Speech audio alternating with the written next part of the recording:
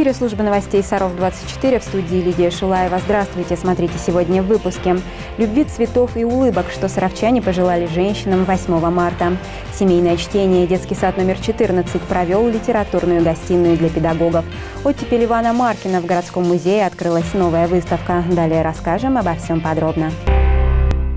В этом году мир в 110 раз отмечает Международный женский день. В России это один из самых любимых праздников, хотя его содержание претерпело изменения. Из идеологического чествования женщины, передовика производства и активистки он превратился в день любви и семейных ценностей. Наша съемочная группа собрала самые теплые и нежные пожелания от саровчан для прекрасной половины человечества. Сегодня мы отправляемся на улицы города, чтобы узнать, что саровчане пожелают нашим красивым дамам. Ну, как обычно, счастья, здоровья, А успехов. Быть красивыми. Счастье, Счастье хочешь? А может быть еще чего-нибудь? здоровье, Счастье и здоровье. Ну, значит, обязательно исполнится. А, да, хочу поздравить весны, счастья душе, чтобы все было хорошо, чтобы никто не болел, чтобы пандемия закончилась. Счастья женского, счастья жи- житейского, чтобы все было хорошо. Поздравляю всех жительниц прекрасного Сарова. И все. Всего-всего им хорошего, цветов побольше, радости, чтобы все любили. Ну, радостного настроения, хорошего. Я хочу пожелать всем девушкам оставаться такими же красивыми и улыбчивыми, и чтобы все у всех было хорошо.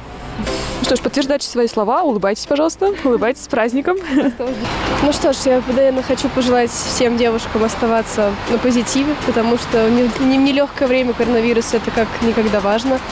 Обязательно заботиться о своем здоровье, собственно, продолжать тему коронавируса, оставаться такими же позитивными, продолжать нас радовать ну, окружающих, семью, знакомых своей красотой.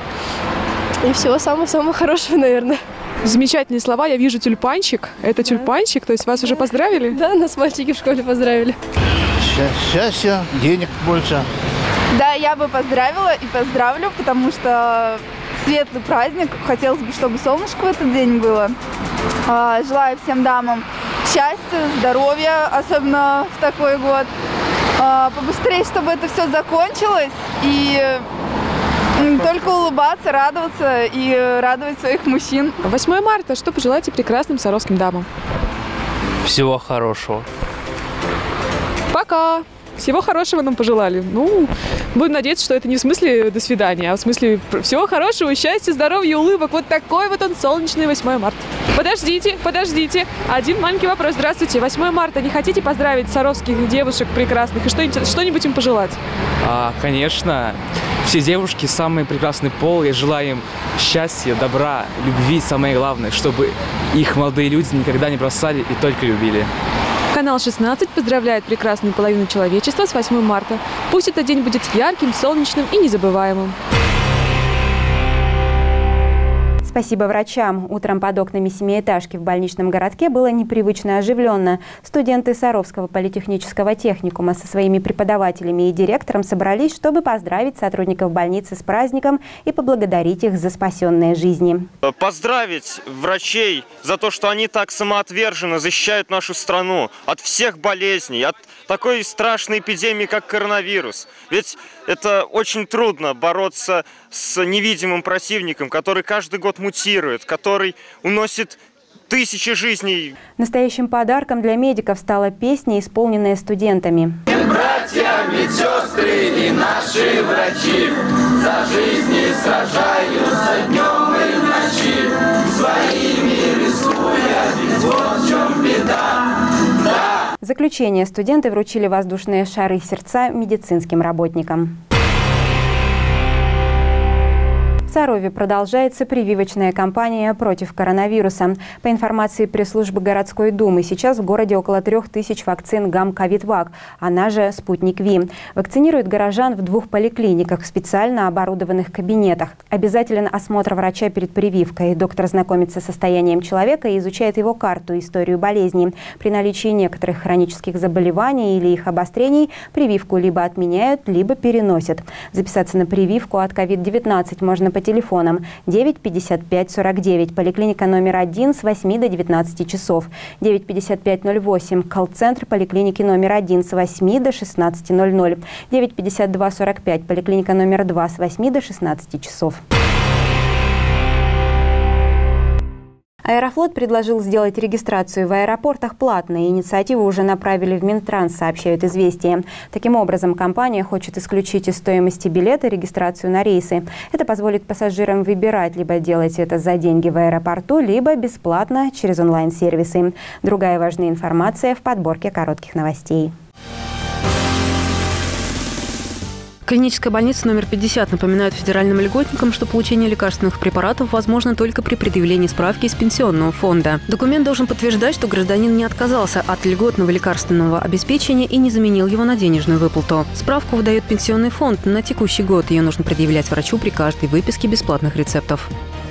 Предоставить пенсионерам право на два льготных билета в год на поезда дальнего следования предложил депутат Госдумы Иван Сухарев. Сейчас у определенных категорий граждан есть возможность на льготных условиях приобретать билеты на поезда дальнего следования, но среди них нет пенсионеров, при этом у многих из них есть родственники, которые проживают в удаленных регионах, и для их посещения граждане пожилого возраста вынуждены тратить громадную сумму. Сухарев предлагает предоставить пенсионерам право в течение одного календарного года приобрести два билета на поезда дальнего следования со скидкой 50%. Как сообщает РТ, соответствующее письмо законодатель направил на имя главы Минтранса Виталия Савельева. Артем Мальцев занял пятое место в гонке на 15 километров свободным стилем, которая прошла 3 марта на чемпионате мира по лыжным видам спорта в немецком Оберсдорфе. Для подопечного Маркуса Крамера это один из лучших результатов в карьере. Среди россиян лучше Артема выступил лишь Александр Большунов, занявший четвертое место. От бронзовой медали, которая досталась норвежцу Харальду Амундсену, Артему Мальцеву отделили 15 секунд. В выставочном зале городского музея открылась юбилейная выставка «Оттепель Ивана Маркина», известного художника-графика России и Мордовии, педагога, мастера станковой графики. Он работал в различных графических техниках – афорте, литографии, ксилографии, линогравюре. Особое предпочтение отдавал рисунку карандашом. Выставка приурочена к 70-летию мастера. В экспозиции представлено более 40 графических работ разных периодов творчества художника. Ранняя, еще немного морозная весна, жаркое лето, багряная осень и снежная зима. Городской музей предлагает саровчанам посмотреть на четыре времени года глазами талантливого художника Ивана Маркина. Работы выполнены в довольно хрупком виде искусства – графики. Почему хрупкий вид искусства? Он не такой распространенный. Вы, наверное, со мной согласитесь, да, в этом плане? Мы больше встречаем с вами живопись, э, как правило, акварель, гуашь, масло. А вот именно с таким видом искусства, э, особенно саровские зрители, знакомятся не так часто. Выставку приурочили к 70-летию мастера. Сотрудники музея старались подбирать работы так, чтобы показать все грани творчества художника. Иван Павлович много работал в жанре пейзажа. На своих полотнах он порой обращается к городской тематике, но главный незаменимый спутник его картин – природа. На всех картинах мы сможем увидеть э, деревья, причем деревья, у которых свой характер, своя манера, свое поведение. Это даже, можно сказать, сказочные деревья. Мы можем с вами увидеть птички, которые сошли как будто вот из мультика к нам, или какие-то задумчивые э, персонажи, люди, животные. Ивана Павловича вдохновляли родные места. Тема деревенской жизни красной нитью проходит проходит через все его творчество. Лишь взглянув на эти полотна, можно понять, что к сельским просторам график относился с особым трепетом. Помимо природы, он как мастер выбирает и другие темы.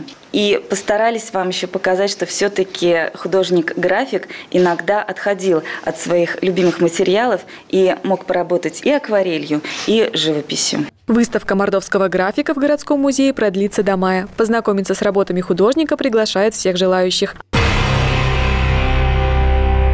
Правительство России утвердило новую программу поддержки бизнеса. Ею смогут воспользоваться компании из наименее восстановившихся отраслей. На новую льготную кредитную программу направят более 7,5 миллиардов рублей.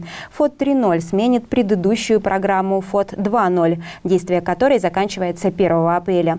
В новом формате ставка кредита составит 3%. В течение первого полугодия заемщик не будет выплачивать основной долг и проценты по кредиту. Во втором полугодии это можно будет делать равными долями деньгами ежемесячно.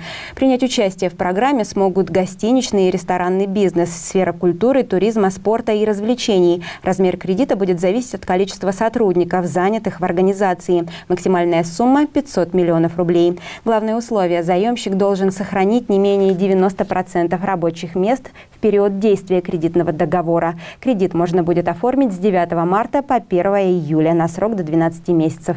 Поручителем станет государство. По словам главы Кабмина Михаила Мишустина, потенциально помощью смогут воспользоваться около 75 тысяч предпринимателей, в компаниях которых работает порядка полутора миллионов человек. Такая мера государственной поддержки даст бизнесу новый импульс к развитию, отметил Мишустин. К другим новостям. Как приучить ребенка к чтению? Конечно же, читать всей семьей, уверены специалисты детского сада номер 14. Уже несколько лет они реализуют программу духовно-нравственного воспитания, в которой делают упор именно на семейные традиции. Своим опытом с коллегами из других садов они поделились во время педагогической гостиной. Интерес к чтению у детей падает. Даже малыши в большинстве своем уже не воспринимают книгу как нечто особенное, как сокровище, приоткрывающее дверь в страну сказок и волшебства. Больше внимания и интереса ребята проявляют к гаджетам. Педагоги, работающие с дошкольниками, пытаются придумать какие-то новые способы и методы, чтобы увлечь своих воспитанников книгами. Своими наработками воспитатели поделились на встрече в детском саду номер 14. В частности, педагоги Незабудки рассказали о клубе семейного чтения «Родничок». Ну, потихоньку, маленькими шагами у нас э, присоединяется к этому клубу очень много родителей. Вот. Э, также собираем мы опыт семейного э, воспитания именно по данной теме. Их обобщаем. С этим опытом знакомятся нас родители и другие родители, которым тоже не безразлична эта тема. Совместное чтение объединяет детей и родителей и хорошо развивает малышей. В этом году из-за пандемии проводить занятия в клубе в очном формате запретили, поэтому воспитатели стали искать другие варианты, как заинтересовать детей книгами. В одной из групп придумали организовать полочку для буккроссинга. Ребятам предложили принести из дома книги, которые они уже прочитали, и начать книгообмен. После прочтения дети могут поделиться впечатлениями от книги с помощью специальных значков. И много не читающих детей стало... Проявлять интерес к книгам. То есть первые задатки появились, чтение, ну пусть даже это чтение, чтение по слогам, но оно появилось. И очень приятно, что такая форма работы вот как бы нам попалась. Мы продолжаем ей заниматься и будем продолжать, будем привлекать другие группы детского сада. В дальнейшем воспитатели планируют снимать буктрейлеры, короткие ролики, в которых воспитанники рассказывают о своих любимых книгах. Своим опытом приучения ребенка к чтению поделилась с педагогами и мама одного из воспитанников 14 детского сада. Татьяна Насекина с младенчества читала книги сыну Тимофею. Когда малыш подрос, его записали в библиотеку. Татьяна советует читать ребенку каждый день. Даже если навалилось много домашних дел, можно выделить хотя бы пять минут на книгу. И книжки он выбирает сам. То есть хочет Маугли, значит Маугли. Хочет одну книжку весь вечер, вот как я говорила, мы две недели читали одну и ту же книжку, значит мы будем читать две недели одну и ту же книжку. И книжки я стараюсь читать не монотонно, там вот бу быстрее-быстрее отделаться, а по ролям и голос изменяем. В планах воспитанников детского сада номер 14 проводить подобные педагогические гостиные два раза в год. Самому главному человеку своих мам с праздником весны поздравили участники народного коллектива «Забава» Центра внешкольной работы. Со сцены прозвучали нежные песни и трогательные признания в любви. На праздничном концерте побывала и наша съемочная группа. Ансамбль русской песни «Забава» открыл концерт задорной песней. Пестрые расшитые сарафаны, причудливые кокошники девчонок и подпоясанные алые рубахи юных музыкантов создали неповторимую народную атмосферу. Сегодняшнее мероприятие посвящено началу весны и, конечно же, Дню мамочек. То есть мы сегодня поздравляем бабушек, мам, наших девочек, которых большинство у нас в коллективе. Вот. Сегодня у нас вот такое вот мероприятие. Праздничный концерт получился импровизированным, потому что времени на подготовку из-за пандемии было немного. Однако ребята выступали как настоящие профи, и даже если кто-то сбивался, зрительный зал поддерживал их аплодисментами. Конечно, было сложно, но мы с ребятами не унываем. У нас много здесь проходит различных концертов спонтанных. Мы всегда готовы, всегда у нас есть в репертуаре те песни, которые подойдут абсолютно любой праздник. Сегодня, конечно же, как и в любой другой праздник, мы с нашим коллективом поздравляем зрителей русской песней, русскими плясками и даже, может быть, и конкурсами со зрителями. Здесь царила домашняя и уютная атмосфера. Людмила Карпушова проводила концерт в интерактивном формате. Каждый номер предварял небольшой диалог со зрительным залом о маленьких девчонках, невестах, мамах и бабушках. А потом юные музыканты поздравляли их песнями, частушками, стихами. Искренне и от всей души. И это все, о чем мы успели рассказать вам сегодня. Следите за новостями города в группах канала 16 в социальных сетях ВКонтакте, Фейсбук и Одноклассники. Подписывайтесь на наш канал в YouTube и смотрите все информационные выпуски и авторские программы в удобное для вас время. В студии работала Лидия Шулаева. Всего вам доброго и хороших вам новостей.